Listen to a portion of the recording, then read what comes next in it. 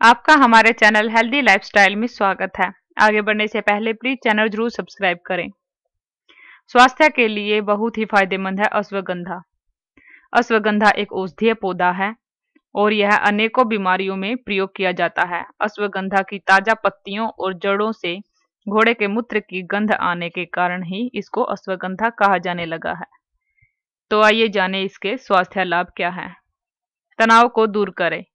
अश्वगंधा का चूर्ण नियमित रूप से खाने पर यह मानसिक तनाव और डिप्रेशन जैसी समस्याओं को खत्म करता है और साथ ही यह याददाश्त भी बढ़ाता है और मन को शांत रखता है। हाई ब्लड प्रेशर को कंट्रोल करता है। अगर आपको हाई ब्लड प्रेशर की समस्या है तो यह उसके लिए एक कारगर औषधि है और अगर आपको लो ब्लड प्रेशर की समस्या है तो इसका सेवन बिल्कुल भी न करें। पेट संबंधी बीमारियों को ठीक करें। पेट संबंधी बीमारियाँ जैसे कि पेट दर्द, गैस कब्ज आदि में दो चम्मच अश्वगंधा, एक चम्मच सौंठ और तीन चम्मच मिश्री को अच्छे से मिक्स करके पाउडर बना लें। और सुबह शाम खाना खाने के बाद एक गिलास गर्म पानी या दूध के साथ जो, एक एक चम्मच मिश्रण को ज़रूर लें। काफ़ी आराम मिलेगा। खांसी और दमा में लाभकारी।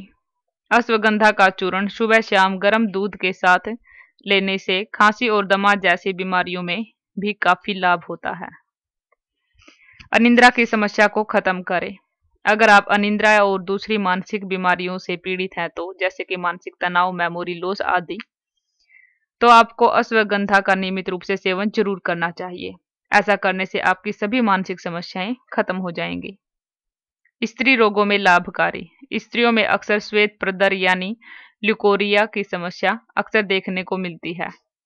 और इसके इलाज के लिए आप दो ग्राम अश्वगंधा चूर्ण में आधा ग्राम वंश लोचन मिलाकर अच्छे से मिक्स कर लें और इसका लगातार सेवन करने से काफ़ी लाभ होगा।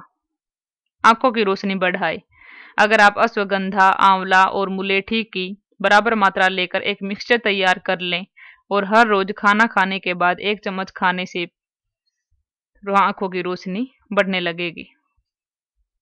आशा है आपको हमारा ये वीडियो पसंद आया होगा। ऐसे ही और वीडियो देखने के लिए प्लीज़ हमारा चैनल ज़रूर सब्सक्राइब करें। Healthy lifestyle. धन्यवाद।